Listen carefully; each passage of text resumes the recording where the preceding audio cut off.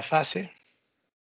En esta oportunidad tenemos el tema sobre el climaterio, un tema muy apasionante, escapa a muchas formas de presentación de, de lo que corresponde conocer mejor la ginecología.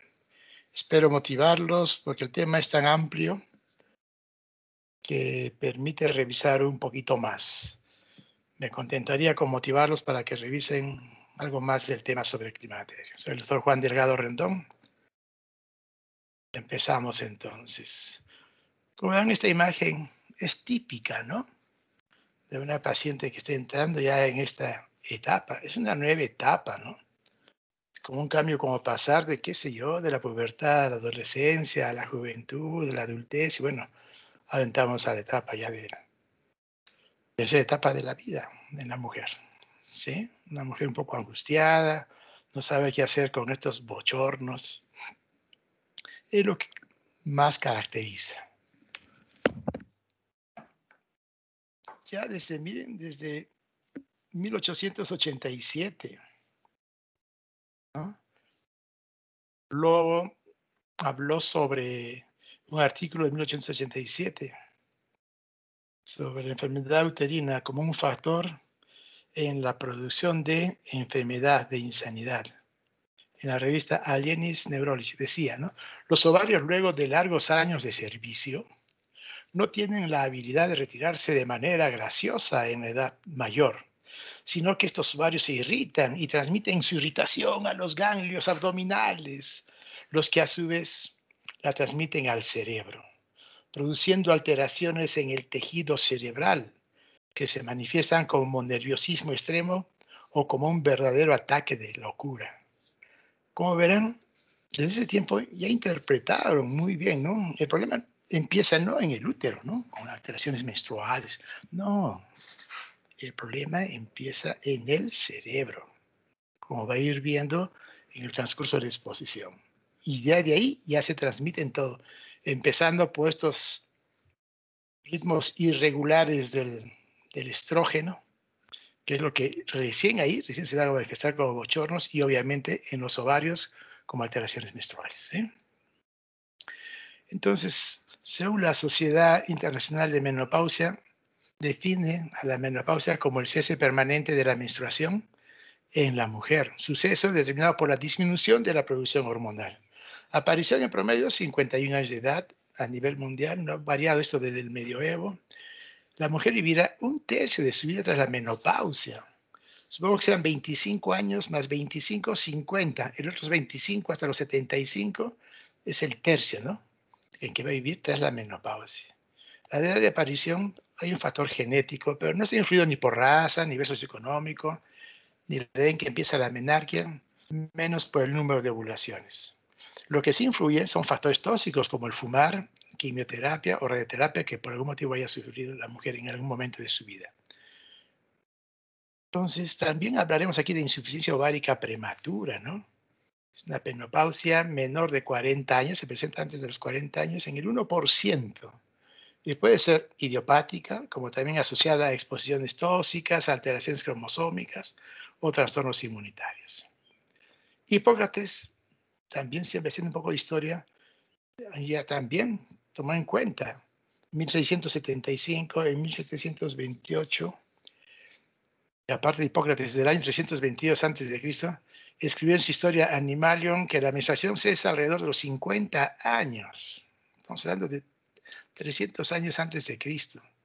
En el siglo VI antes de Cristo, Alessio de Amida describe que la menstruación cesa en la mujer en un periodo nunca anterior a los 35 y por lo común hacia los 50. Otros escritos coinciden con esta etapa, como son, por ejemplo, John Freud en 1729 escribió que el cese de la menstruación se lleva a cabo alrededor de los 49 años. Miren cuánto tiempo ha pasado y no ha variado gran cosa. Entonces, ¿cuál es lo principal? ¿Cuál es la ocurrencia principal, central, que se asocia a la menopausia? ¿Dónde empieza este problema? En la insuficiencia ovárica. ¿A qué se debe esto? Miren, ¿ya? el envejecimiento del folículo ovárico desde el sexto, séptimo mes, que llega al máximo de la vida intrauterina en el sexo femenino, puede llegar hasta 7 millones alrededor, sí, 20, 24 semanas, un poco más, ¿no? 7 millones de ovocitos. Y luego sufre un descenso, pero irreversible. ¿no? Incluso que llega a la etapa de nacimiento, la edad de nacimiento llega a un millón de folículos. Bien, toda esta envejecimiento y desaparición, obviamente. De tal manera que cuando llega más a la etapa de la menarquia, llegan 400 mil, de 7 millones a los 6, 7 meses de embarazo en la vía intrauterina, en la menarquia, para la pubertad, 400 mil ¿no? óvulos, se entiende ovocitos ¿no? primordiales. De tal manera que a partir de la, 30, de la semana de los 35 años, ven aquí, ya empieza ya una formación anormal de los gametos, en este caso de los ovarios, y declinando, por ejemplo, la fecundidad. Más de 40 años ya se entiende que si, hay, fecundación, pues generalmente va a terminar en un 50% en abortos. Es importante que tengan esta historia natural. Entonces, en la menopausia, ¿qué pasa con el ovario? Hay una depresión de los folículos por una apoptosis. Ya no responde a la el ovario ya no responde a la influencia del FSH, a la LH. Por lo tanto, al no responder, ya la producción de estrógeno y progesterona comienza a disminuir hasta cesar. El eje hipotálamo hipófiso ovárico permanece intacto. El eje es impacto. Quien no responde, digamos, es el ovario. Esto es durante la transición de la menopausia. Por lo tanto, al no haber el estrógeno que, la, que produzca ese feedback negativo, pues la FSH aumenta hablamos de una atresia folicular, especialmente a nivel de las células de la granulosa. Se reduce la producción de estrógenos, inhibina, la hormona antimulleriana. Y se eleva, como hemos dicho, la FSH, el signo principal de la menopausia. En relación a los andrógenos, continúa su producción al activarse el compartimiento estromal, tanto en los ovarios, aromatización periférica por el ovario, y los andrógenos suprarrenales. El tejido adiposo también sigue siendo un sitio principal de aromatización. A mayor grasita, ahí tenemos una enzima que permite ¿no? la aromatasa, que convierte los andrógenos en un, estrógeno, si bien es débil, pero igual tiene funciones estrogénicas como es la estrona. La androstenediona por aromatización se convierte en estrona.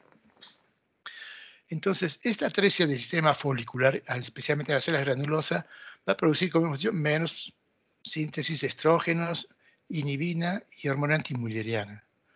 De tal manera que la inhibina disminuye su concentración, al ver menos estrógenos aumenta la FSH y finalmente la hormona antimulleriana al disminuir es un indicador de reserva ovárica y en este caso también disminuye al entrar a la menopausia. En los últimos años reproductivos, Estamos hablando de la transición a la menopausia que viene a ser los últimos dos hasta ocho años antes de que cese definitivamente la menstruación. Ya se, se va viendo esta tendencia a aumentar la concentración de la FSH. Obviamente va acompañada de variaciones en el ciclo, porque estas concentraciones no son sostenidas, ¿no? Tienen sus picos, se elevan, por eso esta inestabilidad es la que produce muchos de los síntomas que vamos a mencionar. Entonces hay variaciones en el ciclo, especialmente en el estrógeno, en rumbo, o en cuando hablamos de la transición hacia la menopausia. Comienza con que clínicamente variación del ciclo menstrual, ya sea se acercan los ciclos, se alargan, mayor cantidad, poca cantidad, acaba con el último periodo menstrual que ya veremos cómo es que se considera el último periodo menstrual. Entonces, la menopausia se define en forma retrospectiva como el momento de la última menstruación, seguido de 12 meses de amenorrea.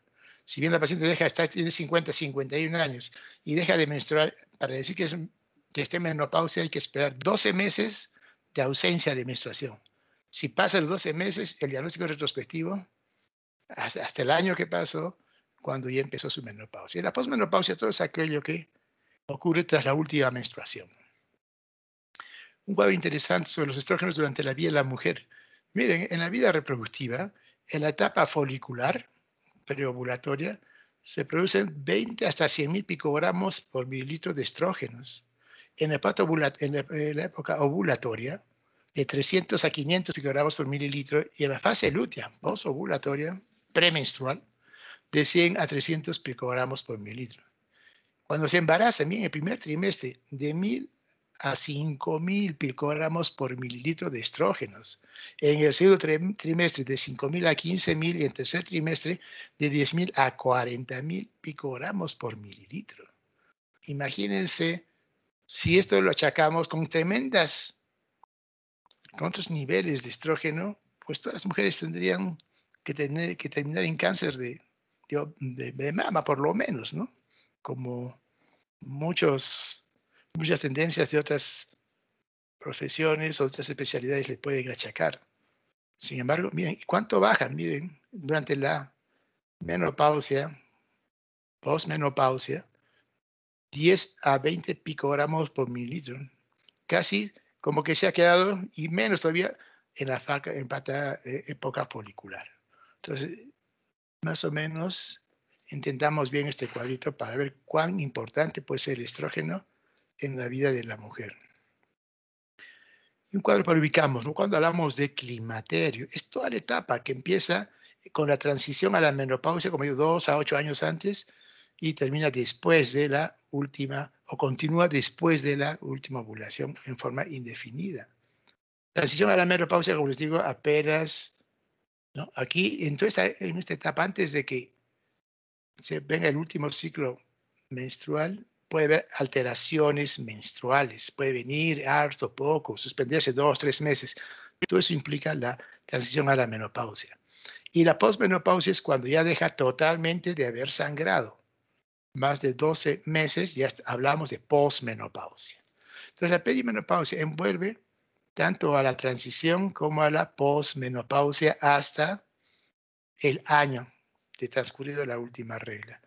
los 12 meses. Entonces, la perimenopausia abarca hasta el primer año desde la última regla.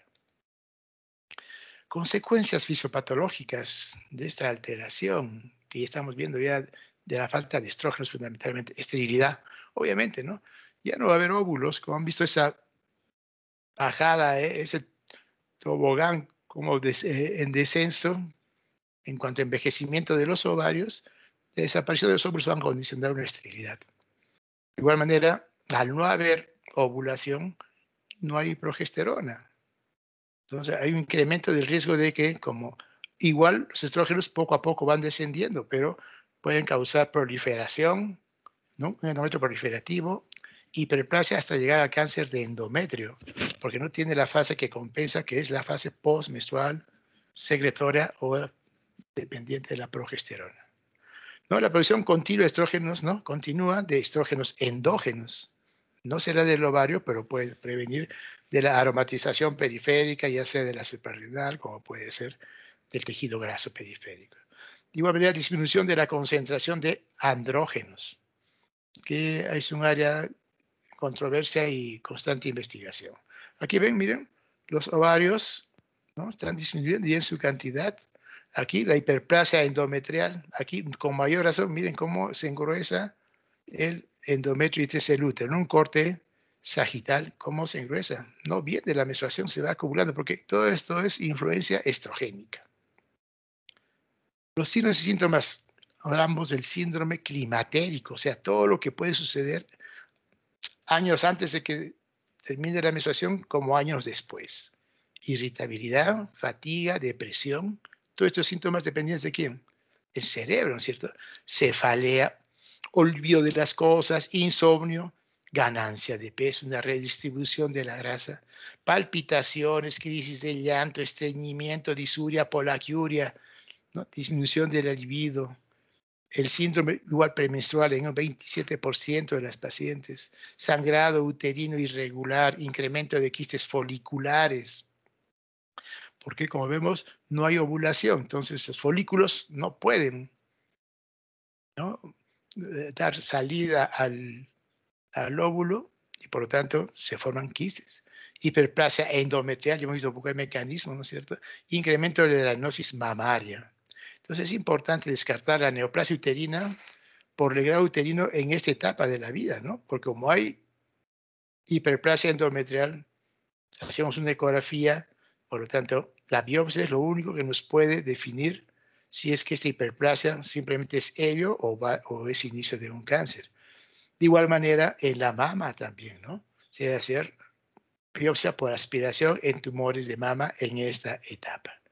Como verán, miren ahí, muy poco se habla de problemas uterinos, todo es un compromiso de inicio en el cerebro. Entonces, las consecuencias de la deficiencia de estrógenos, difícil de diferenciar, ¿no? De las del envejecimiento. Obviamente que van unidos, ¿no? En forma invariable.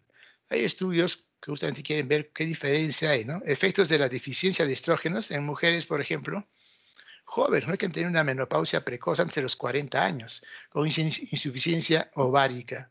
Y ahí se, se nota la diferencia, qué depende de estrógenos y qué depende de la del envejecimiento que se entiende que su mayor manifestación puede ser a partir de los 65, 70 años. Entonces, ¿de qué manera todo este sistema, todo este aparato folicular puede estar condicionando problemas en la salud de la mujer? Puede afectar entonces a nivel de, los, de síntomas vasomotores, atrofia urogenital, osteoporosis, enfermedad cardiovascular, cáncer, disminución cognitiva, incluso trastornos sexuales. Dentro de los tipos de vasomotores ya pueden intuir de qué estamos hablando.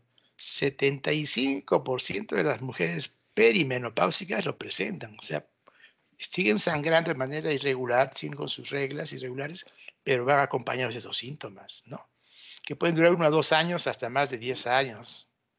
Consulta por sofocos y eso es lo que la lleva a la consulta no se preocupa por los problemas cardiovasculares, por osteoporosis, no se preocupa por ello. La que la lleva a las ciudades son los bochornos. En general, la mayoría refiere que dificultad de concentración, inestabilidad emocional, afecta en su trabajo y su actividad diaria, el sueño y obviamente en su vida también sexual, que puede traer problemas con su pareja. Entonces, el tratamiento de que ¿A qué va dirigido? A que le alivie estos síntomas, porque eso es lo que la llevaba a la consulta. Obviamente hay que descartar que no vaya a haber otra patología diagnóstico diferencial con hipertiroidismo. Pensar en caso de que los síntomas vasomotores se les da el tratamiento, como ya van a ver cuál es el de primera elección, y de repente no calman los síntomas. Entonces de repente estamos frente a un, problema de hipertiroidismo, ¿no? o de repente es resistente al tratamiento. Mecanismo fisiológico no se conoce por completo, se relaciona con un acontecimiento que ocurre a nivel del hipotálamo. Dirige el incremento entonces de la temperatura, ¿no? Sabemos, en temperatura basal, un termostato que tenemos en el hipotálamo, tiene que ver con el índice metabólico y la temperatura de la piel. Esto condiciona que para ir equilibrando procesos de vasodilatación y sudoración para deshacerse del calor interno. Mediante la activación de qué? Los receptores noradrenérgicos, serotoninérgicos o dopaminérgicos. Entonces se desconoce cuál es la función exacta de, de los estrógenos que modularían este problema de la vasodilatación y sudoración. Los síntomas vasomotores son la consecuencia de la privación de los estrógenos y no solo de su deficiencia.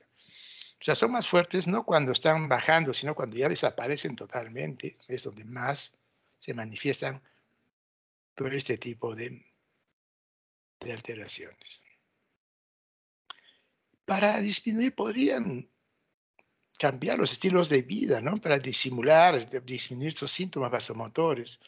En este ambiente ayudar con ambientes fríos, abrir las ventanas, que se ventile, ¿no? Manteniendo la temperatura, baja de las habitaciones, usar ropa ligera, evitar los caldos, las sopas calientes, evitar el rocoto, porque si no dispara más estos síntomas. ¿no? Y en las mujeres con sobrepeso y fumadoras tienen síntomas, vasomotores más acentuados, más graves. Tratamiento con estrógenos es el más efectivo. De, miren, de evidencia 1A. El único aprobado por la FDA para, esta, para los problemas vasomotores, cuando son muy intensos.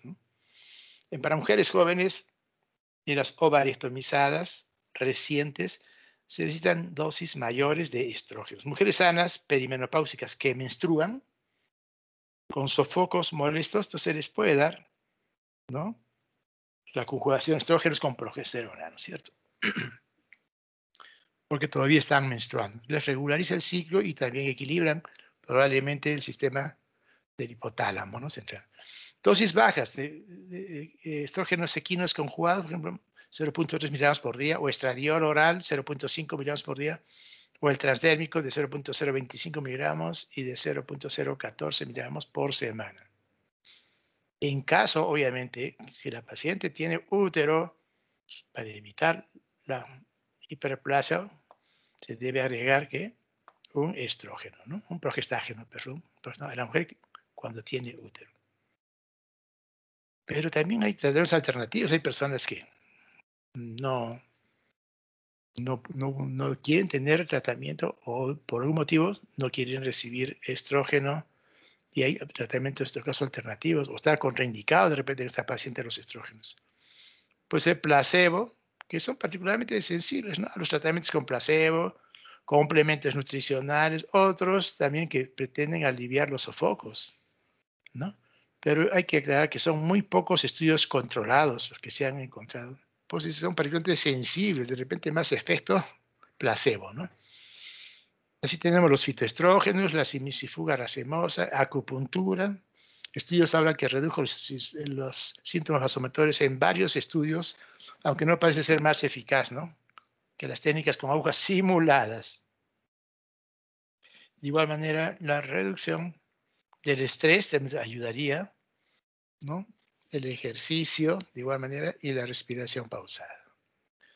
Entonces, en relación a estos síntomas vasomotores, las mujeres pueden elegir usar tratamientos alternativos y complementarios para aliviar los síntomas, pero deben saber que la seguridad y eficacia de estos a menudo no se ha comprobado. Nosotros para recomendarlo tendremos que tener estudios, ¿no? Eh, eh, ensayos clínicos controlados, ¿no es cierto?, para, para valorar durante su eficacia. Y, por supuesto, indicarlo.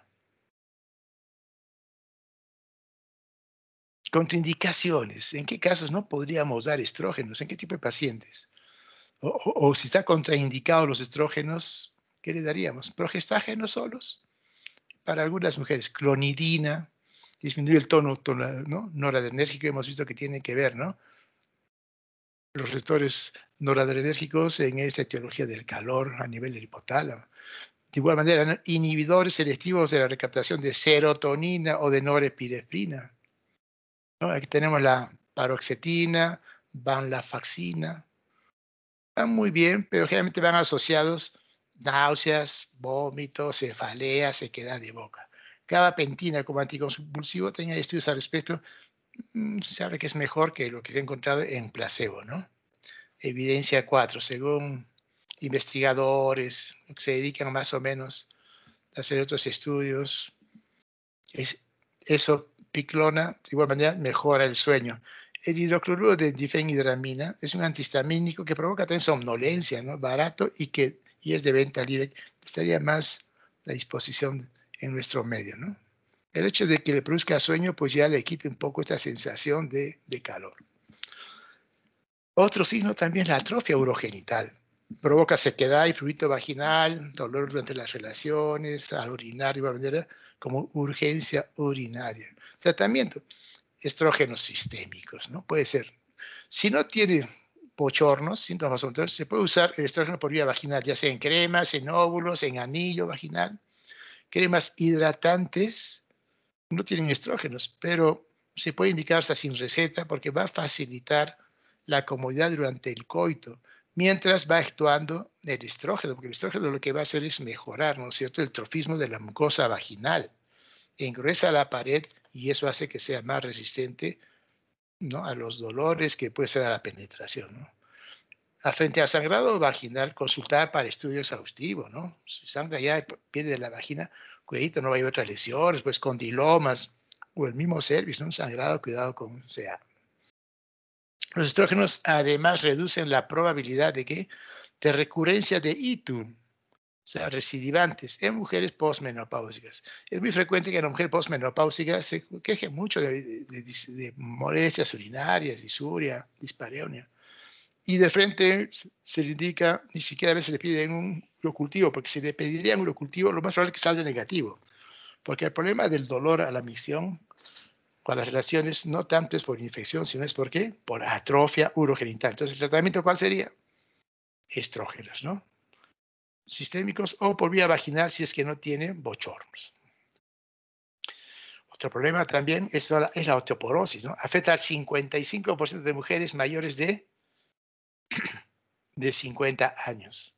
En mujeres de alto riesgo de densitometría ósea, para que eh, ya se pueda instalar lo más antes posible el tratamiento. Factores de riesgo. Tenemos que averiguar siempre qué factores de riesgo que nos puedan llevar a osteoporosis. De repente no tiene factores de riesgo, entonces es control. De lo contrario, no modificar. Bueno, la edad, a partir de más de los 60 años, raza caucásica o asiática, antecedentes familiares que han tenido osteoporosis, es importante como factor de riesgo. Complexión corporal pequeña, antecedentes de fractura previa, menopausia precoz antes de los 40 o también ovariectomía de repente antes de los 40 años. Los que sí podríamos hacer algo, los factores modificables. Si hay baja ingesta de calcio y de vitamina D, que mejor, que aumente. Tabaquismo, de igual manera, suspender, prohibir. Bajo peso corporal, ¿no? Hacer una buena dieta y hacer ejercicios, ¿no? Si es una vida sedentaria. Entonces, la evaluación se hace a través de la densitometría mineral ósea. Como se determine se determina el diagnóstico de osteoporosis y el riesgo determina de fractura. Entonces, nos permite identificar los riesgos, las pacientes que están en riesgo ¿no? de llevar con el tiempo una fractura.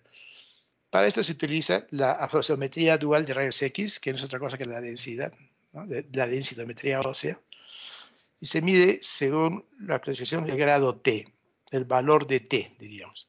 Es la, el valor de la desviación estándar de la media de una mujer joven y sana. Se le toma una, la densitometría de una mujer joven y sana, se le pone el T. De acuerdo a ese valor, normal si la T que se obtiene de la paciente es mayor de menos 1.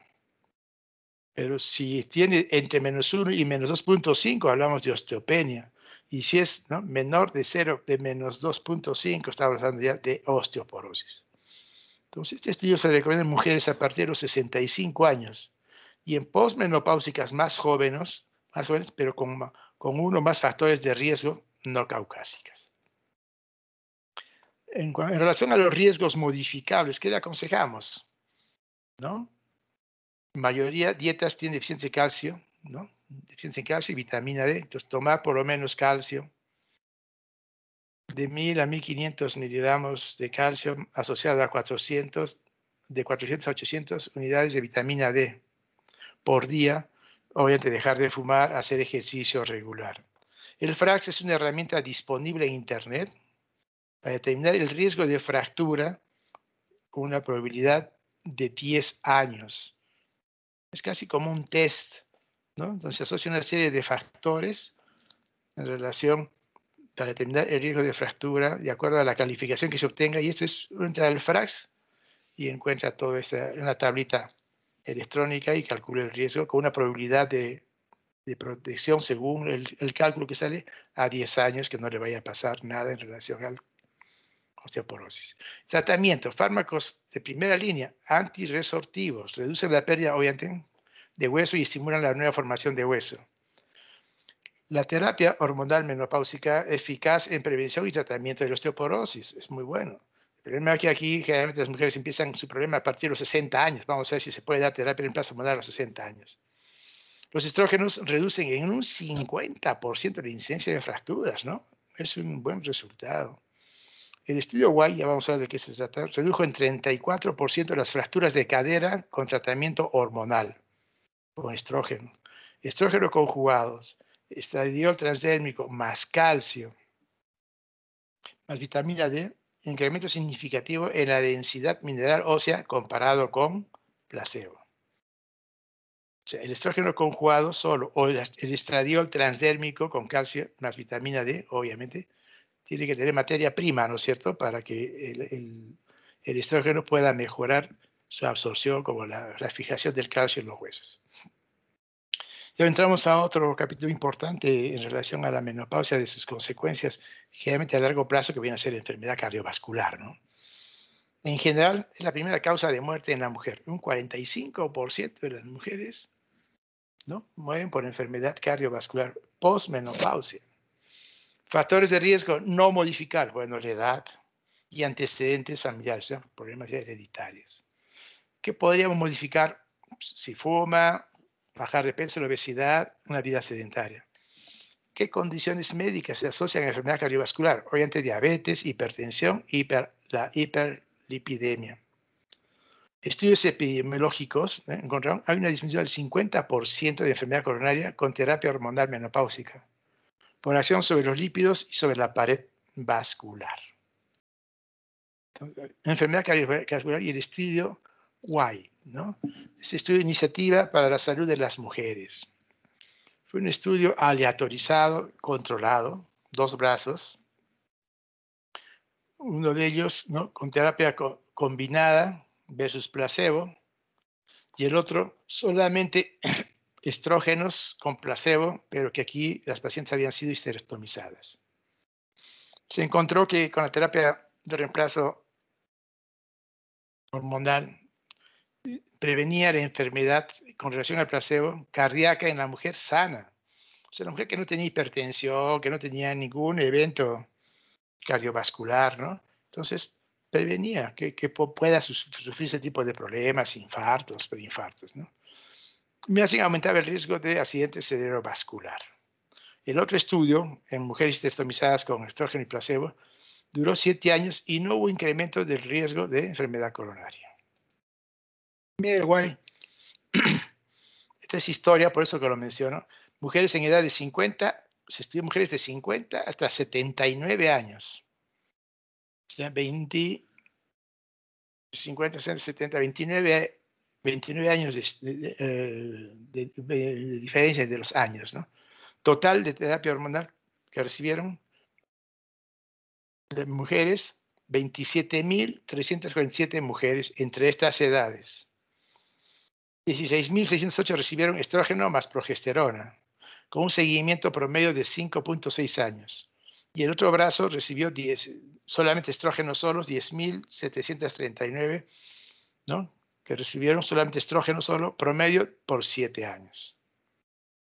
El estudio hormonal, el desenlace primario encontró ¿no? enfermedad coronaria y también encontraron enfermedad coronaria cerebrovascular, trombosis, tanto trombosis pulmonar, tromboembolía pulmonar y en piernas trombovenosis, ¿no? Trombo pulmonar, este, periférico, trombosis venosa periférica o profunda.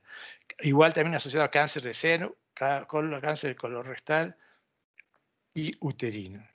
Este diseño de este estudio Y estuvo programado para 8.5 años. ¿Y qué pasó? Miren, se evaluaron los riesgos y beneficios, ¿no? En donde, miren, ¿qué se encontró? incremento 29% de enfermedad coronaria, 41% incremento de accidente cerebrovascular y 26% cáncer de mama. Bien, disminuyó, ¿no? Tanto las fracturas como el cáncer de colon. Pero atravesó por el límite, ¿no? Por eso es que ya se tuvo que suspender. Se terminó a los 3.3 años cuando usaron ¿eh? en este trabajo en general. Y enfermedad también tromboembólico. Terminaron porque había, obviamente, según ese estudio, un daño evidente. Entonces dijeron, no, este es el fin de la edad de los estrógenos, ¿no? Ya estamos en 1990, 2002, perdón. Entonces, pero ¿qué se vio? El riesgo absoluto por 100.000 mujeres al año atribuible a la terapia de reemplazo hormonal fue pequeño, con 7 episodios, mira, de 10.000 mujeres al año, 7 episodios cardiovascular más, 8 para cáncer de mama, 8 con ictus y 8 con embolía pulmonar. Sin embargo, 6 casos menos de cáncer colorectal y 5 casos menos de fractura. ¿no? Pues en la, en la lámina anterior ¿no? disminuyó el cáncer colorectal y las fracturas. Pero sí se incrementó, pero con relación a 10.000 mujeres, como que no era muy relevante. Entonces se analizó este estudio y se encontró que gran proporción de las pacientes eran fumadoras, de 50 dijimos hasta 79 años, eran obesas, mayores que comprometen cualquier conclusión. Gran deserción también, muchos dejaron el estudio. El 50% de las pacientes podrían tener síntomas metabólicos, ¿no? De esas mujeres de 50 hasta 79 años. Síndrome metabólico, ya sabemos que estamos hablando, con incremento, simplemente por el síndrome metabólico puede incrementarse el cáncer de mama y no achacarle de repente a la terapia en plazo hormonal. El incremento del 24% en el cáncer de pacientes que recibieron estrógenos químicos conjugados y medroxiprogesterona acetato puede ser un artefacto ya que en el pulpo placebo la incidencia es muy baja y un gramo, una proporción, había recibido terapia hormonal antes del estudio. ¿no? También hubo unos vicios en la población en donde se hizo este estudio. Entonces, en el estudio distinto, en donde aquí un estudio, como siempre, aleatorizado y controlado en 10.300 mujeres sin útero, las que solamente recibieron estrógeno solo versus placebo, ese estudio duró siete años. No hubo incremento del riesgo de enfermedad cardíaca en las que tomaron estrógenos. Solamente estrógenos, ¿no? No asociados a, como verán, a progesterona. Obviamente el riesgo de tromboembolismo venoso, para ictus y para fracturas osteoporóticas fue igual a estrógenos más progestágenos. Pero fue una gran ventaja en relación a problemas cardiovasculares. Y otro análisis, análisis secundario, no se encontró incremento de riesgo de enfermedad cardiovascular en mujeres entre, miren, no se encontró incremento de riesgo de enfermedad cardiovascular en mujeres entre los 50 y 59 años años después de la menopausia, menos de 10 años, que estén con menos de 10 años de menopausia y que la edad esté entre los 50 y 40 años, no se incrementó el riesgo. O sea, miren, tenía que ver mucho la edad y el tiempo que la paciente esté con. Aquí se mezclaron también todas las mujeres que tenían 60, 65, 70, 75.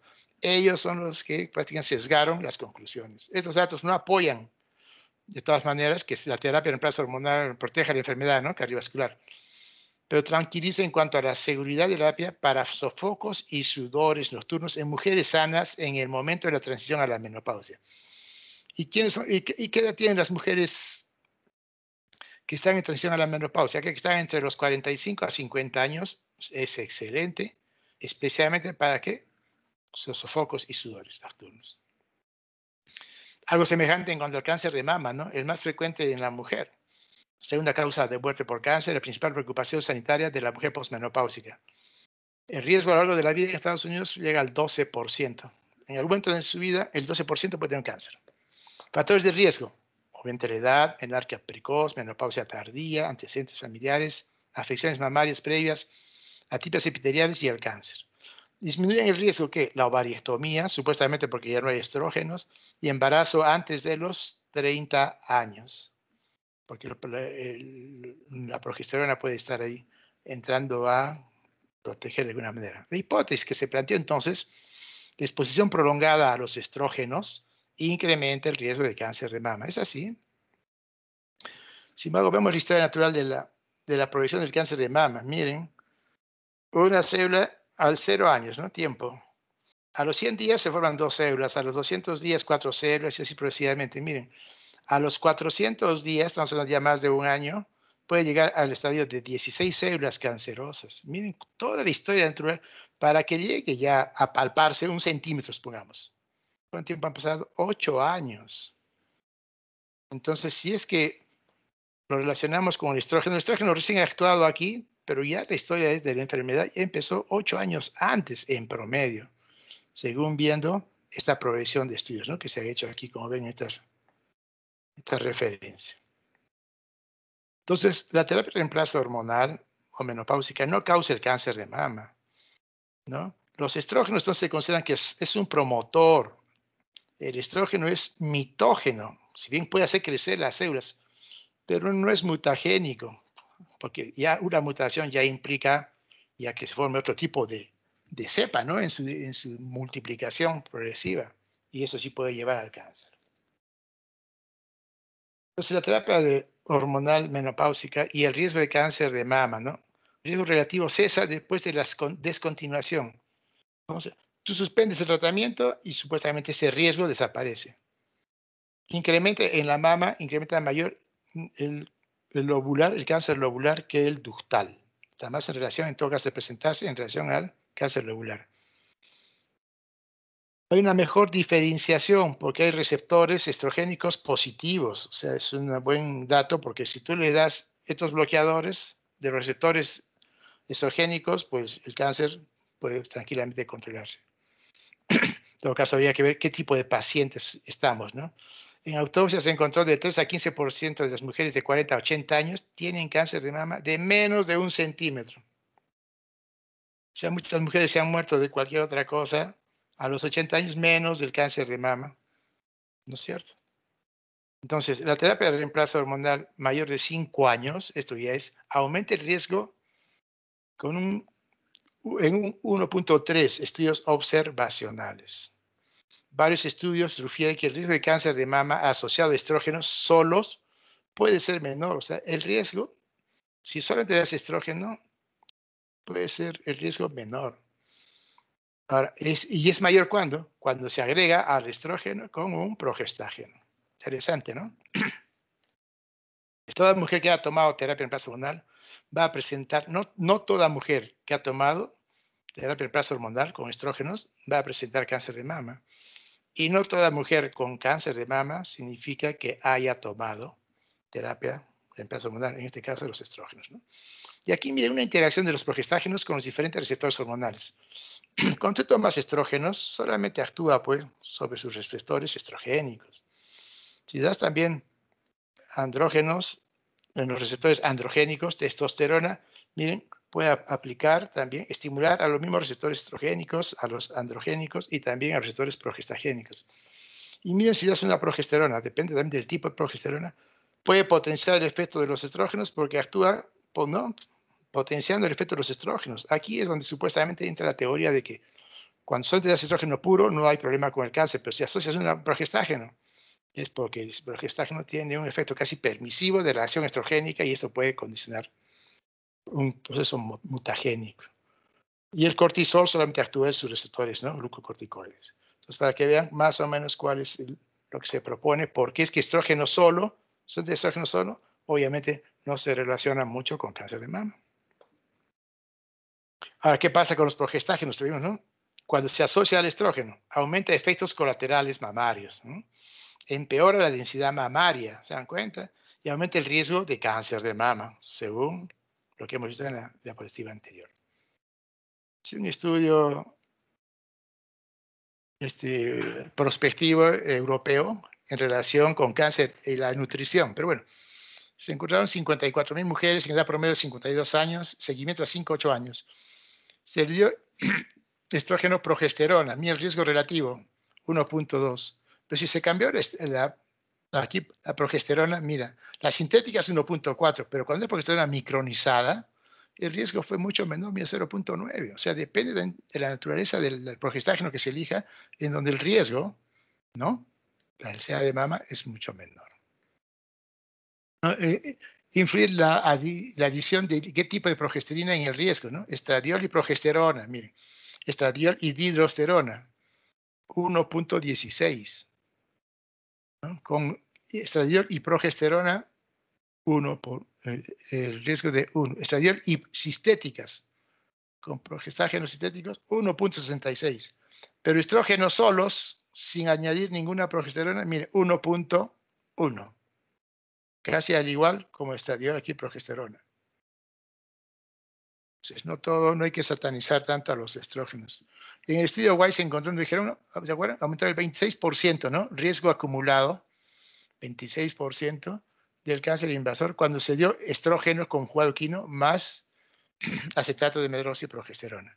Y esta diferencia, esta diferencia entre el placebo y la combinación estadísticamente significativo. Entonces, y luego aquí, aquí, efecto estrógeno puro, nada más se dio estrógeno equino puro y el placebo en relación al cáncer de mama invasivo, mira, menos que en el placebo el riesgo, simplemente con estrógeno equino puro. Entonces, cáncer de mama, miren, 38 de 10.000, cáncer de mama 38, placebo 30, aumento no significativo. Igual con estrógenos conjugados, cáncer de mama riesgo 0,75, reducción no significativa, y entre los 50 y 59 años, acuérdense estas edades, riesgo relativo 0.72, menos, ¿no? Menor aquí, una reducción del 28%. Y finalmente aquí, miren este cuadrito, estamos comparando qué. Miren, aquí prácticamente viene a ser la, radio continua, nunca usaron ¿no? ningún tipo de, este, terapia hormonal. Y aquí la, la, verde usó por cinco años y el azul usaron por 10 años. Sí, va aumentando el riesgo, ¿no? Porque aquí esta es la que no tomaron nada. ¿Cómo aumenta el riesgo? Y finalmente aquí, pero miren aquí el riesgo. ¿Con qué aumenta más? Este es con alcohol. Miren, ¿dónde está el riesgo? Y el sobrepeso de igual manera. Aumenta más. Y aquí estamos viendo cómo aquí el sobrepeso mayor riesgo y que es prácticamente un efecto protector. El deporte. Ya comparando aquí el número acumulado de cáncer de mama por mil mujeres.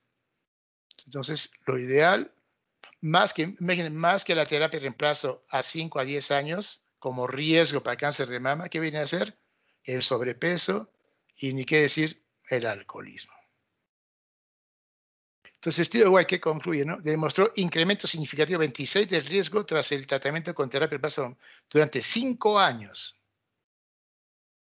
mujeres esterectomizadas no hubo incremento del cáncer de mama en esterectomizadas. Recuerden que solamente recibieron estrógeno. Luego de siete años, ¿ah? con estrógenos solos. Entonces, no debe prescribirse terapia, obviamente, si hay antecedentes de cáncer de mama. ¿no? Algo semejante en el tratamiento con tamoxifeno, por ejemplo, 20 que es un agonista antagonista estrogénico en cáncer de mama con receptores estrogénicos positivos. El tamoxifeno produjo riesgo de tromboembolismo tres veces incrementó. Y en endometrio, riesgo de pólipos, hiperplasia y cáncer. O sea, mayor riesgo tiene el tamoxifeno. Mamografía anual en mujeres de más de 50 años reduce la mortalidad de cáncer de mama. ¿Por qué? Porque vamos a hacer el diagnóstico oportuno. Conclusión, entonces, la terapia hormonal de cáncer de mama. La terapia antes combina ¿no? estrógeno y progesterona, aumenta en forma leve el riesgo de cáncer de mama a más de 5 años de uso. Entonces, ¿qué debemos recomendar? en todo caso darle menos de 5 años. Aparentemente no existe diferencia entre esquema secuencial y continuo en relación a estrógenos y progesterona. El estrógeno solo no incrementa el riesgo de cáncer de mama. No se conocen diferencias entre dosis, tipos y vías de administración de progestágenos. Enfermedad, en cuanto cambiamos a la enfermedad de Alzheimer, no causa más frecuente de demencia, mujeres tienen mayor riesgo, estudios pequeños no experimentales podría reducir el riesgo, pero estudio aleatorio, controlado, con estrógenos durante un año no disminuyó la velocidad de progresión. Es más, aquí se encontró que en mayores de 65 años con demencia y terapia de reemplazo hormonal, incrementó más bien en dos veces el riesgo de demencia. Entonces, todavía siguen estudios, todavía no como para recomendar. en cuanto a la fertilidad durante el climaterio, va disminuyendo, ¿no? Obviamente. Tasa de embarazos, mire, 1.3 por mil mujeres que estén entre los 45 y 49 años. Después de los 50 años, hay un embarazo por 25 mil mujeres en estas edades, ¿no? Ya vean esa relación. Causas, prostaglandinas tubarias disminuyen, ovulación ausente, especialmente más de los 42 años.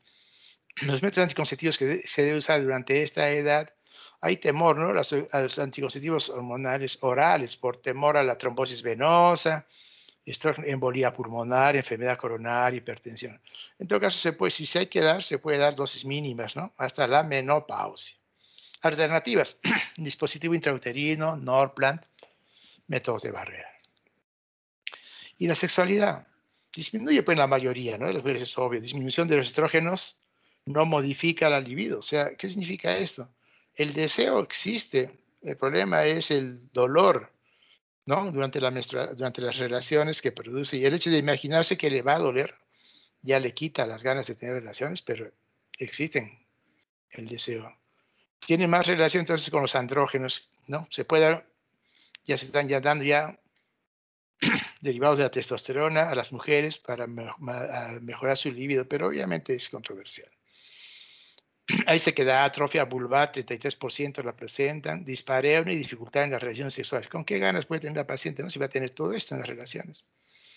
Y si hay orgasmos son mucho más breves y contracciones son menos intensas. La, la única causa que limita la actividad sexual, si tú corregimos la libido, la única cosa que podría limitarlo es que haya una incapacidad física de cualquiera de los dos, ¿no? Por problemas de otro tipo, de fracturas, de los mismos problemas renales, otro tipo de patología que puede limitarte, ¿no? Problemas, qué sé yo, fibrosis pulmonar, pero no es definitivamente por la misma edad, ¿no? Porque hay manera como controlarlo.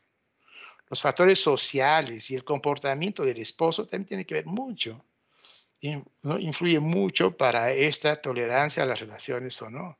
La mayoría de los, matrimonios están más o menos por ahí de edad, ¿no? 50 años la mujer ya está con su menopausia y 52, 54 el varón. Está en todo su estándar sexual el varón y quiere con la misma exigencia, no será con la frecuencia, pero sí con la misma exigencia. Y la mujer va a estar cojándose, entonces puede tener problemas, tanto sociales como también de la pareja. ¿no? Y aquí miren qué linda la imagen, ¿no? Sentirse feliz, por cómo se ve, como una jovencita, ¿no?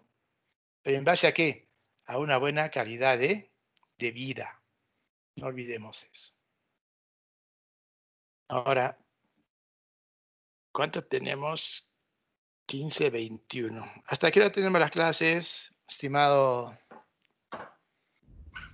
Em, a ver, doctor, se supone que también tenemos que hacer lo que es terapia de reemplazo hormonal. Exacto, exacto. ¿Cuánto tenemos? ¿Cuánto mm. tenemos más? Dame tiempito porque aquí la hora se me ha desconfigurado. Mm, no lo tengo ahorita a la mano, doctor, pero eran dos clases, así que... Sí, sí, continuamos entonces. Sí, doctor, no hay problema. Perfecto. ¿Hasta aquí alguna pregunta? ¿Te pasa que nos relajamos un poquito? No, doctor, ninguna duda.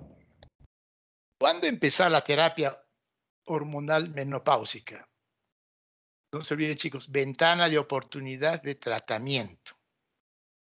Hay, en algún momento no debemos de perder la oportunidad en nuestras pacientes postmenopáusicas de dar el tratamiento. A ver, vamos a ver a qué se refiere. Dice, el momento, esta ventana tiene que ver con el momento en que se recomienda iniciar la terapia de reemplazo hormonal, que comprende hasta los 60 años y o menos de 10 años desde la menopausia. Esa es una condición. Y la otra, un endotelio normal. ¿Quién puede tener un endotelio anormal? una paciente hipertensa, una paciente diabética, ¿no? En general, un síndrome metabólico, con mayor razón. Entonces, en ellos, con cuidado. Pero si no tiene nada de esa patología y está entre los 50 y 60 años, es la ventana de oportunidad para dar el tratamiento hormonal. Entonces, es un concepto para recordar a los servidores de salud cuando una mujer es apta para recibir la terapia hormonal menopáusica de manera responsable y debe cumplir varios requisitos. ¿Qué dijimos? Mujeres menores de 60, menos de 10 años de haber iniciado menopausia y sin contraindicaciones, o sea, un endotelio normal. Para esto, ¿qué tenemos? ¿No? Miren, la terapia en plazo hormonal. Recomendaría a la Sociedad Internacional de Menopausia, que recomienda, en un consenso, debe ser parte de una estrategia mayor que incluya también de medicamentos, ¿no? Que recomendaciones sobre estilos de vida en cuanto a dieta, ejercicios, cese de tabaquismo y consumo de alcohol en cantidades seguras para mantener la salud en mujeres peri y postmenopáusicas. Es un estudio más integral, más holístico, diríamos, ¿no? No solamente dar su tratamiento, sus pastillas y que venga sus controles X intervalo. Indicaciones de esta terapia en menopausia precoz, claro, ya sea natural, quirúrgica o iatrogénica. Y la indicación es absoluta cuando se presenta antes de los 40, 35 años. Imagínense 35 años que esté sin estrógenos, se nos viene osteoporosis, se vienen todos los problemas cardiovasculares, los bochornos, olvídense, ¿no? ¿En quiénes más? Cuando uno está cruzando la menopausia, pues ya con sintomatología, especialmente que dijimos los trastornos vasomotores, sofocos, sudores, irritabilidad muy intensos, y alteran pues, la calidad de vida, ¿no? ¿Y cuánto dijimos máximo la terapia debe darse? Por más durante dos, máximo a cinco años. Según los estudios, ¿no? Nos recomiendan no más de cinco años. Alternativas, supongamos que por algún motivo no pueda recibirse. Clonidina, veralipride, hormonas vegetales como fitoestrógenos que no producen efectos adversos. Otras indicaciones, prevención de la fragilidad ósea y osteoporosis. O sea, Hay que, la terapia de reemplazo hormonal también previene la pérdida de masa ósea. Hemos dicho 50% el estrógeno, imagínate. O la recuperación de la misma, con lo que reduce el riesgo de fracturas. Mire, disminución de la incidencia de fracturas osteoporóticas. La terapia la disminuye durante 10 años o más, después de suspendido. Las mujeres con menopausia precoz, ¿no? Para prevenir la fragilidad ósea. Mujeres con menopausia con riesgo alto de osteoporosis, hemos visto el perfil y mujeres menopáusicas en tratamiento por osteoporosis franca con fractura. Ahí se puede indicar muy bien la terapia de reemplazo hormonal. De igual manera, para prevenir enfermedad cardiovascular, modifica el perfil lipídico, ¿no? aumenta el HDL, colesterol, disminuye el LDL colesterol, tiene un efecto vasodilatador y antioxidante. En el estadio clínico HERS de estrógenos, valora la terapia de reemplazo hormonal en prevención secundaria cardiovascular en personas con patología. ¿no? Aquí en este estudio, se dio estrógenos pensando que las pacientes que ya tenían patología coronaria les podía bajar el riesgo. No se puede demostrar ello, ¿no? Por eso se menciona que debe ser en pacientes sanas, no en pacientes que ya tienen algún problema ya en el ontelio, como por ejemplo la patología coronaria, que esto se ha condicionado por otros, de repente por diabetes, de repente por hipertensión o por hiperlipidemia. Los efectos, entonces, en prevención primaria no se cuestionan. O sea, si uno lo toman en pacientes sanas, la terapia, o el efecto, pues, bastante beneficioso para prevención de enfermedad cardiovascular. ¿En qué presentaciones se debe indicar la terapia en plazo hormonal? Puede ser píldoras, parches, cremas vaginales, el que mejor se adapte al paciente. Incluso se cambia uno u otro hasta que se vea cuál le asienta mejor, ¿no? Mira, Puede haber cremas de vaginales, óvulos, pastillas vía oral, parches también. Entonces, el tratamiento con estrógenos, ¿cuál es el objetivo? Minimizar el riesgo de hiperplasia y cáncer endometrial. Entonces, se debe dar tratamiento cíclico, ¿no? Con estrógeno, más que agregando más progestina, para evitar que el riesgo de hiperplasia y de cáncer endometrial. Continuar, ¿no? Este es mi nivel de evidencia A. Continua, la continua puede ser, puede ser cíclica o continua. Estrógeno y progesterona, dosis más bajas, se toman juntos todos los días. Sangrado irregular se puede producir en más del 50%, pero esto se, se detiene alrededor del año de haber comenzado con la terapia, debe continuar. Pero esto es, como verán, es la mayor causa de abandono, produce menos adherencia al tratamiento. ¿Por qué? Porque da, puede dar a la mujer que no, que no ha menstruado un año, está con los 51, 52 años, le dan las pastillas y comienza a sangrar, ¿no? Obviamente. ¿Y por qué sangra? Porque obviamente puede estar empezando a producir atrofia del endometrio. Y una de las causas frecuentes de sangrado postmenstrual es la atrofia endometrial. Por eso hay que hacer también una buena consejería. Juegan también parches, ¿no? El estradiol se absorbe a través de la piel hacia el torrente sanguíneo. Hay dudas en la protección del riesgo cardiovascular. Tienen más rentacción, son caros, y pueden producir irritación local donde se coloquen. Indicaciones, obviamente, que no pase por el hígado, ¿no? que no tenga hipertensión. Esta pasa directamente a la circulación, ¿no? no pasa a la circulación enterohepática. Y también está indicado en hipertrigliceridemia. Crema vaginal también se puede usar. Su tasa absorción es igual a la vía oral. Cuidado en casos de contraindicaciones. Pues, terapia hormonal, efectos adversos, ¿no? Sea de mama, siempre hay que tener en cuenta, sea antecedente especialmente, ¿no? De cáncer no le vas a dar, pues, ¿no es cierto? Si tiene antecedente de cáncer familiar. También enfermedad cardiovascular, enfermedad también venosa, eventos tromboembólicos, eh, perimenopausia y menores de 60 años, que es la ventana de oportunidad que había mencionado antes de cambios propios del envejecimiento la oportunidad, antes que se nos envejezca, entre comillas, más, demos el tratamiento y estamos previniendo que todo lo que estamos viendo, todos los beneficios. Contraindicaciones relativas, convulsiones, cuadros convulsivos, hipertensión arterial, pero si es relativo, si es que la hipertensión está controlada, hiperlipidemia familiar como antecedente, migraña si está controlada, tromboflebitis, que no esté por un cuadro agudo, ¿no? Endometriosis, de igual manera, enfermedad vesicular, miomatosis uterina. Tú puedes dar relativamente, ¿no? Si es que no da mucha sintomatología, pues son contraindicaciones relativas. Pero absolutas, un sangrado, porque este paciente con sangrado transvaginal y que no sabe la causa, no le vas a dar tratamiento, ¿no? Inexplicable. Primero estudialo y después ya verás si le das o no.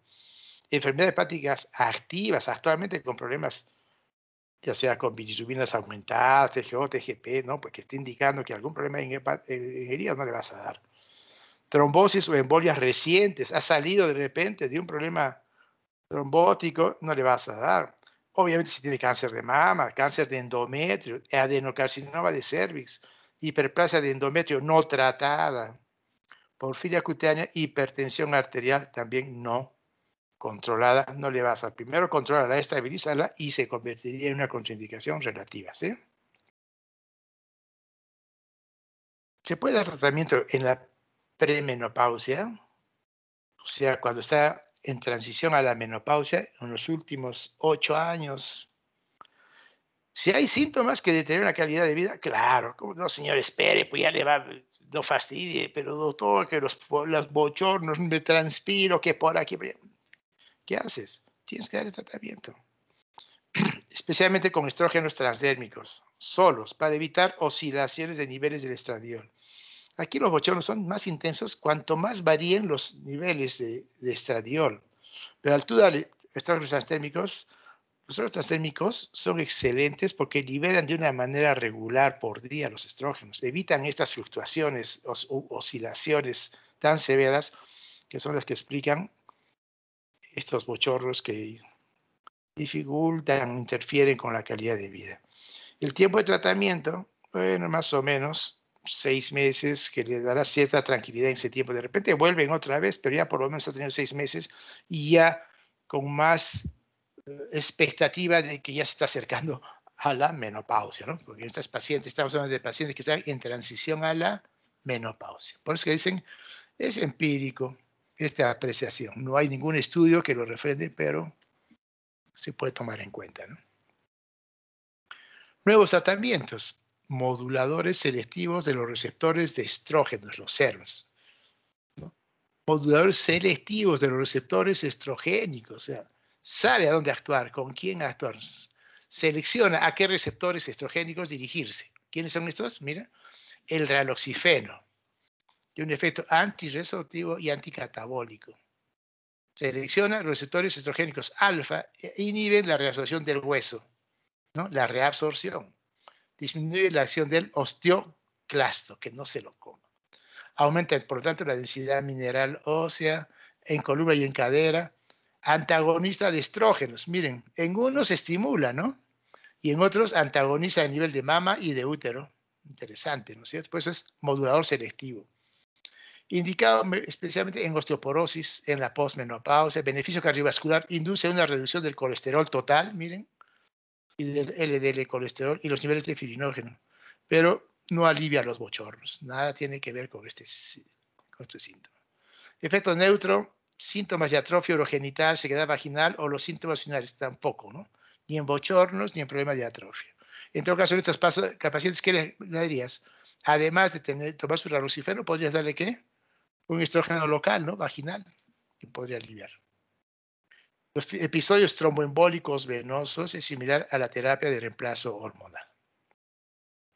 Bisfosfonatos, también antiresortivo, como el alendronato o risedronato. Tratamiento no hormonal para la prevención de la osteoporosis. Efectos secundarios, náuseas, vómitos, pero hay que tomarlos con determinadas indicaciones, sentados, con buena cantidad de agua en un vaso, que no se vaya a costar por lo menos una media hora, que si no le viene todo ello. Y eso a veces aleja y desanima al paciente, ¿no?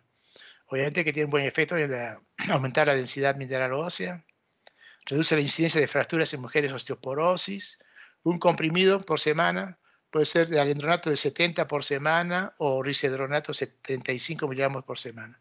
Obviamente que se recomienda tomarlo junto con calcio y con vitamina D. Y el ibandronato es mejor, ¿no? En cuanto a su adherencia, porque también tiene una eficacia antifractura vertebral. Se toma solamente una, ¿no? Una tableta de 150 miligramos por mes, o sea, puede tomar 12 veces al año. Entonces, puede cumplir mejor que estar cada semana, ¿no? Calcitonina, indicación en osteoporosis también ya establecida. ¿no? tiene mayor de menos 2.5, ¿no? De Pues, presentaciones puede ser parenteral o en spray nasal, inhibe la actividad de los osteoclastos, hay receptores de estradiol en células osteoblásticas y de calcitonina en los osteoclastos, pues que aquí inhibe la actividad de los osteoclastos. La calcitonina nasal reduce la fractura vertebral en las mujeres con osteoporosis y también un efecto añadido analgésico, ¿no? Ante el dolor agudo por fractura. Miren, spray hormonal. Calcio y suplementos de vitamina D. Tratamiento es no farmacológico. Son vitaminas, ¿no? Y suplementos. Son efectivos para reducir la pérdida de ósea en personas mayores. El calcio por sí solo tiene un efecto limitado, pero combinado con la vitamina D. Es particularmente beneficioso para las personas mayores. La D absorbe el calcio y lo incorpora al hueso. Y a lo, último, el tratamiento antidestructivo, les traigo aquí el denosumab. Es un anticuerpo monoclonal, puramente humano. El hecho de ser humano ya disminuye la posibilidad de rechazo, ¿no? Este anticuerpo, porque es humano. Bloquea el ligando RANK, es una citoquina que activa al osteoclasto. Y si lo bloquea, ya no hay osteoclasto, queda el osteoblasto, entonces comienza a formarse hueso. Actúa a nivel de hueso cortical y trabecular. Incrementa en mayor medida la densidad media ósea y mayor adherencia al tratamiento esos bisfosfonatos. ¿Por qué? Este tratamiento es cada seis meses por tres años, ¿no? Por tratamiento parenteral. No se elimina por vía renal, otra ventaja en personas que sean, que tengan por, la por la edad misma, 65, 70 años, puede estar asociado con un problema renal, pues se le puede dar muy bien esto, ¿no? Porque no se elimina por vía renal. Indicado entonces en osteoporosis, menos 2.5 a más de la T, osteopenia, fracturas vertebrales y o vertebrales. Entonces, resultado, se ha visto, disminuye el riesgo de fractura, miren, fracturas vertebrales disminuye un 68%, las fracturas no vertebrales, brazo, ¿no es cierto?, de cadera, imagínense, 40% en tres años que dure el tratamiento. Claro que cada ampolletita que te colocas cada seis meses está alrededor de los 1.000, 1.200 soles. Hay aquí en nuestro medio, felizmente, pero es una buena alternativa. Fitoestrógenos vegetales, ¿no? Con efectos parecidos a los estrógenos, a pesar de no ser moléculas de estrógeno. ¿Dónde los encontramos? Cereales, lentejas, legumbres, hortalizas. Ahí están los precursores. Y al ingerirlos, las bacterias intestinales actúan en estos alimentos y se transforman en formas, formas activas. Tratamiento hormonal natural de la menopausia. ¿no? Se habla de 40 gramos de proteínas de soya por día. Durante seis meses aumenta significativamente la densidad mineral ósea vertebral en mujeres postmenopáusicas. Soya reduce entonces los lípidos y lipoproteínas en pacientes con colesterol alto y los sofocos. Tibolona, agente esteroidal sintético con actividad estrogénica actividad progestagénica y débil actividad androgénica. O sea, supuestamente mejora también la libido de la mujer. ¿no? Relaciona con aumento plasmático de beta endorfinas, te da sensación de bienestar. Y también con la beta lipotropina. Indicación de la tibolona, hasta después de 12 meses. ¿ah? No le van a dar cuando está en el, eh, todavía su última regla hace seis, siete meses, ¿no? Porque todavía puede estimular el estrógeno al endometrio y podría dar unas hemorragias que se ha habido que llegan al curetaje. Esta recomendación. Acción, alivia sofocos, sudoración, humor, ¿no? Libido, humor, ¿no? Las endorfinas. Previene la pérdida ósea. Sedación sobre endometrio y tejido mamario. ¿Cómo se toma? Todos los días 2.5 se queda el, domingo libre y continúa toda la semana. Ahora, aquí una pregunta importante. Estrógenos y cáncer. A ver, muchos autores hablan de un incremento del riesgo de dos hasta tres veces de cáncer endometrial, pero en pacientes que recibieron estrógenos. ¿no? no se asoció con progestágenos. Pero este estrógeno, este cáncer, la mayoría estaba en estadio inicial cuando se hizo el diagnóstico y eran bien diferenciados. O sea, diríamos que fue un cáncer benigno. ¿no? No es tan agresivo como puede ser el de otro. No hay incremento significativo del cáncer de ovario. Si hay disminución con el uso de anticonceptivos orales. Tampoco hay incremento del cáncer de mama, aunque algunos con progestágenos pudieran aumentar dicha posibilidad. Hablamos, ¿no? Que cuando sí se le agregaba al estrógeno, se le agregaba un progestágeno, pues eso le aumentaba la posibilidad, ¿no? De, aumentaba el riesgo de cáncer. Pero si solamente estrógeno puro, hay estudios al respecto que apoyan esta tendencia. Entonces, ¿cuál es la tendencia? Apenas la conducta cuando una terapia reemplazo hormonal, seguimiento cuidadoso, ¿no? Al inicio, a los dos meses y cada seis meses. De presentarse en este tiempo a un sangrado, mejor hacer un legrado uterino diagnóstico. No vaya a ser que estemos frente a qué? A un cáncer endometrial, ¿no? Que si bien pues está en estado inicial y bien diferenciado, de todas maneras es un riesgo que amerita hacer el diagnóstico oportuno. Medicamentos no estrogénicos, indicaciones, ¿en qué le podemos indicar pero que no sean estrógenos? Cuando en esta paciente, la que va a recibir los esteroides sexuales estén contraindicados. Cuando no hay respuesta a la terapia hormonal, estás 3, 4, 6 meses en el seguimiento y no hay respuesta. Si se rehúsa el tratamiento con hormonas, puede tener pues, cancerofobia. Este, si nadie le puede quitar de la cabeza a la señora de que esto no le va a conducir a un cáncer, no le podemos obligar. Si existe intolerancia al tratamiento, el estrógeno les puede producir náuseas, retención hídrica, hasta hemorragia, ¿no? Entonces, cuidadito. Entonces, siempre tener en cuenta en quiénes podemos indicar estrógenos y en quiénes no. Dentro de los no estrogénicos, ¿qué tenemos? Sedantes, ¿no? Recuerden, dolor de cabeza, tendencia al llanto, están pero totalmente inquietas, ¿no? Ya sea por los bochornos, por toda la sintomatología que he mencionado. Se puede usar fenobarbital más belladona. O tranquilizantes, ¿no? Ansiedad, insomnio, diazepinas. Ojo con el hábito que puede conducir la dependencia de vitamina B6.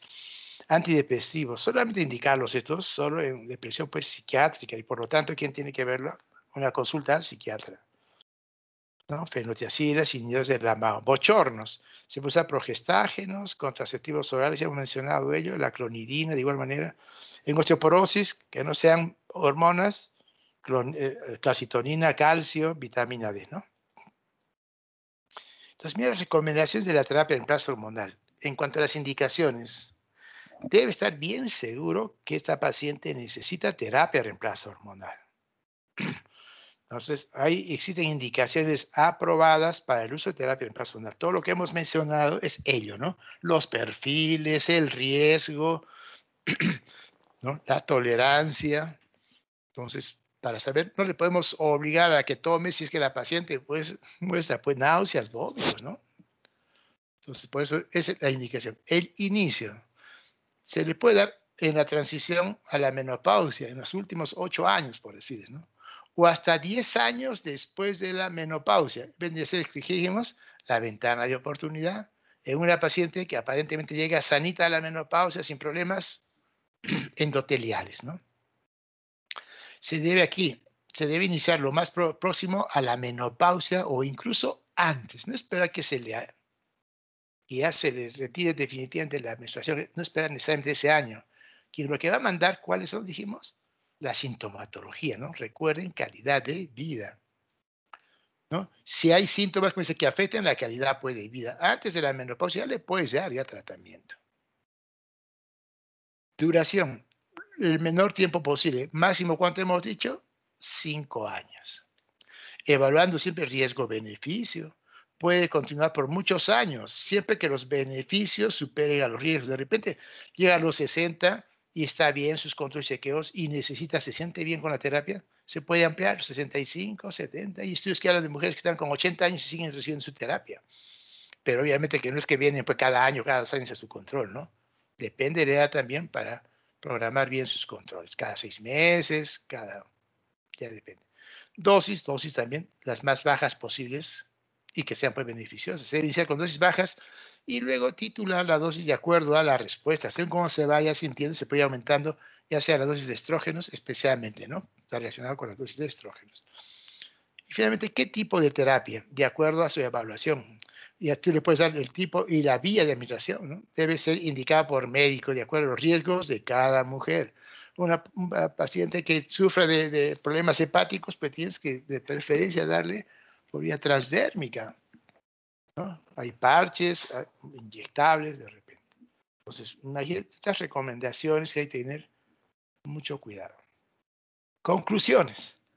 Entonces, se debe evaluar la sintomatología climatérica en toda mujer de 40 a 60 años. Miren, 40 a 60 años.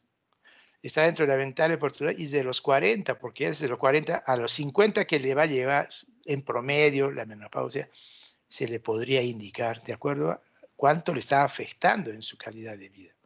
La menopausia misma no determina la indicación de la terapia. Una paciente que esté en menopausia está tranquila y se encuentra con su amiga que está con náuseas y vómitos. Tienes que tomar tus hormonas. No, por, no nadie lo va a prevenir. No necesariamente eh, va a tomar la terapia si ya no tiene ninguna alteración, según los estudios que se realicen. Tratar a toda mujer que lo requiera y por el tiempo que sea necesario. No tratar a quien lo requiera y por el tiempo que sea necesario. Y la vamos a ver muy feliz de repente. Y tener aquí, ¿no? A la parejita que nos acompañamos hasta donde podamos, todo con calidad de vida, que tenga la capacidad de sonreír, ¿no? No perdamos la capacidad de sonreír, ver lo bonito de la vida. Muy bien, muchachos, esto es lo que les traía. Espero que les haya motivado